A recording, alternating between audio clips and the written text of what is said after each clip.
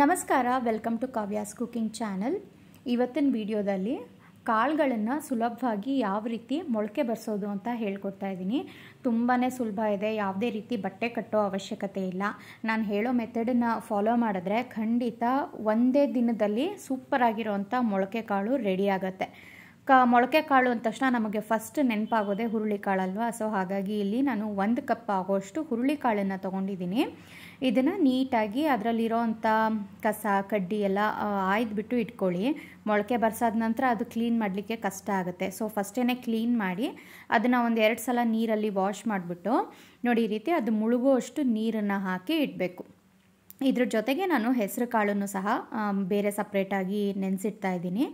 ಹೆಸರು ಕಾಳನ್ನು ಒಂದು ಕಪ್ ಆಗೋಷ್ಟು ತೊಗೊಂಡಿದ್ದೀನಿ. ಹೆಸರು ಕಾಳು ಮೊಳಕೆ ಬರೆಸಿ ಇಟ್ಕೊಂಡ್ರೆ ನಾವು ಸಲಾಡ್ ಆದರೂ ಮಾಡ್ಕೋಬೋದು, ಕೋಸಂಬರಿ ಆದರೂ ಮಾಡ್ಕೋಬೋದು, ಇಲ್ಲ ಉಪ್ಸಾರಾದರೂ ಮಾಡ್ಕೋಬೋದು. ತುಂಬಾ ಸುಲಭ ಟೇಸ್ಟಿಯಾಗಿರುತ್ತೆ ಎರಡು ಕಾಳನ್ನು ನೀಟಾಗಿ ವಾಶ್ ಮಾಡಿ ಮುಳುಗೋಷ್ಟು ನೀರನ್ನು ಹಾಕಿ ನೆನೆಸಿಡ್ತಾ ಇದ್ದೀನಿ. ಇದು ಬೆಳಗ್ಗೆ ನೆನೆಸಿಡ್ತಾ ಇರೋದು ನಾನು.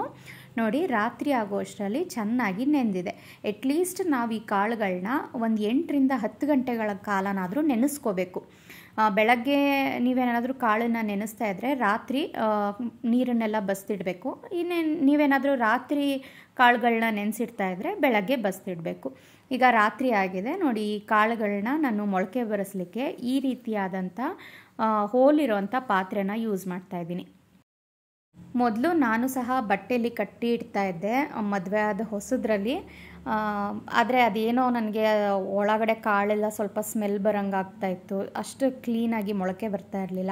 ಆನಂತರ ನಮ್ಮಮ್ಮ ಈ ರೀತಿ ಮೆಥಡನ್ನು ಹೇಳ್ಕೊಟ್ರು. ನಾವು ಪೂರಿ ಎಲ್ಲ ಕರೆದು ಕರೆದಂಥ ತಿಂಡಿಗಳನ್ನ ಹಾಕ್ತೀವಲ್ವ? ಈ ತೂತಿರೋ ಅಂಥ ಪಾತ್ರೆ, ಅದಕ್ಕೆ ಕಾಳನ್ನು ಹಾಕು, ಚೆನ್ನಾಗಿ ಬರುತ್ತೆ ಮೊಳಕೆ ಅಂತ. ಸೊ ನಾನು ಕಳೆದ ಒಂದು ಎಂಟು, ಒಂಬತ್ತು ವರ್ಷದಿಂದ ನಾನು ಇದೇ ರೀತಿ ಟ್ರೈ ಮಾಡ್ತಾ ಇರೋದು. ಪರ್ಫೆಕ್ಟಾಗಿ ಬರುತ್ತೆ.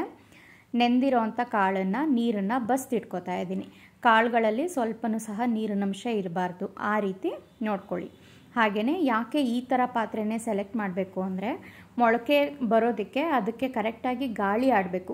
ಗಾಳಿ ಆಡಲಿಲ್ಲ ಹಾಗೆ ಕಟ್ಟಿಟ್ಬಿಟ್ವಿ ಅಂತ ಅಂದರೆ ಕಾಳೆಲ್ಲ ವಾಸನೆ ಬಂದು ಹಳ್ಸೋದಂಗಾಗತ್ತೆ ಸೊ ಹಾಗಾಗಿ ನೋಡಿ ಸಣ್ಣ ಸಣ್ಣದಾಗಿ ಇದ್ದರೆ ಇನ್ನೂ ಒಳ್ಳೆಯದು ಏಕೆಂದರೆ ಸೊಳ್ಳೆ ಎಲ್ಲ ಮುತ್ತಲ್ಲ ಅಲ್ವಾ ಅದಕ್ಕೆ?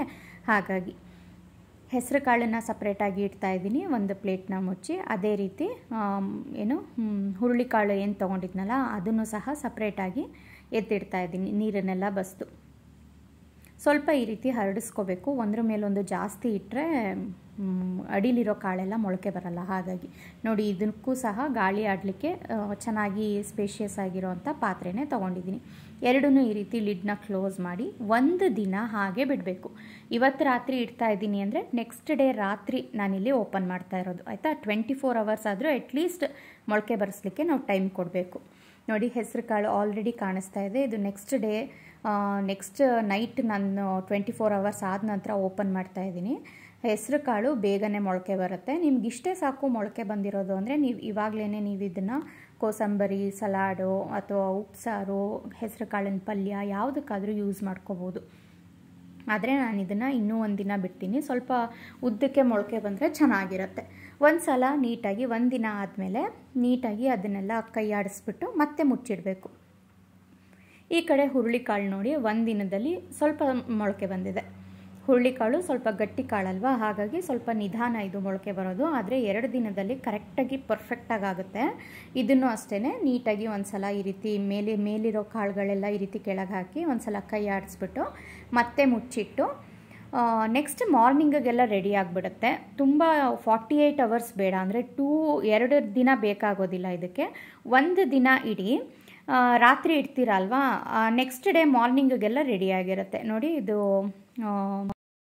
ನೆಕ್ಸ್ಟ್ ಡೇ ಮಾರ್ನಿಂಗ್ ನಾನು ತೋರಿಸ್ತಾ ಇದ್ದೀನಿ. ಕಾಳು ಯಾವ ರೀತಿ ಸೂಪರಾಗಿ ಮೊಳಕೆ ಬಂದಿದೆ ಅಂತ.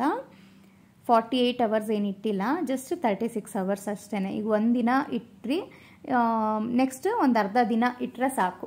ಅಷ್ಟರಲ್ಲಿ ನಮಗೆ ಸೂಪರಾಗಿ ಮೊಳಕೆ ಬರುತ್ತೆ. ಹೆಸರು ಕಾಳು ನೋಡಿ, ಕೆಳಗಡೆನೂ ಸಹ ಮೊಳಕೆ ಅಷ್ಟು ಚೆನ್ನಾಗಿ ಬಿಟ್ಕೊಂಡಿದೆ. ಈ ಕಡೆ ಹುರುಳಿಕಾಳು ಅಷ್ಟೇ ಸೂಪರಾಗಿ ಬಂದಿದೆ. ನೋಡಿದ್ರಿ ಅಲ್ವಾ, ಎಷ್ಟು ಸುಲಭ ಇದೆ ಈ ರೀತಿ ಮೊಳಕೆ ಕಾಳನ್ನು ಬರ್ಸೋದು ಅಂತ. ಇದು ಆ್ಯಕ್ಚುಲಿ ಟ್ರೆಡಿಷ್ನಲ್ ಮೆಥಡ್ ಅಲ್ಲ. ಈಸಿಯೆಸ್ಟ್ ಮೆಥಡಲ್ಲಿ ನಾನು ಹೇಳ್ಕೊಡ್ತಾ ಇರೋದು. ಟ್ರೆಡಿಷ್ನಲ್ ಮೆಥಡ್ ಅಂದರೆ ಅದೇ ಕಾಟನ್ ಬಟ್ಟೆಗೆ ಕಟ್ಟಿ ಇಡ್ತಾರೆ. ನಾನು ಮೊದಲೇ ಹೇಳಿದಾಗೆ ನಾನು ಆ ಮೆಥಡ್ನ ಟ್ರೈ ಮಾಡಿದ್ದೆ ಬಟ್ ನನಗೆ ಫೇಲ್ಯೂರ್ ಆಯಿತು. ಸೊ ನಮ್ಮ ತಾಯಿ ಈ ರೀತಿ ಮಾಡೋದು. ಹಾಗಾಗಿ ನಾನು ಇದನ್ನೇ ಫಾಲೋ ಮಾಡ್ಕೊಂಡು ಬರ್ತಾ ಇದ್ದೀನಿ. ಖಂಡಿತ ಒಂದು ಸ್ವಲ್ಪನೂ ಫೇಲ್ ಆಗಿಲ್ಲ ಇದರಲ್ಲಿ.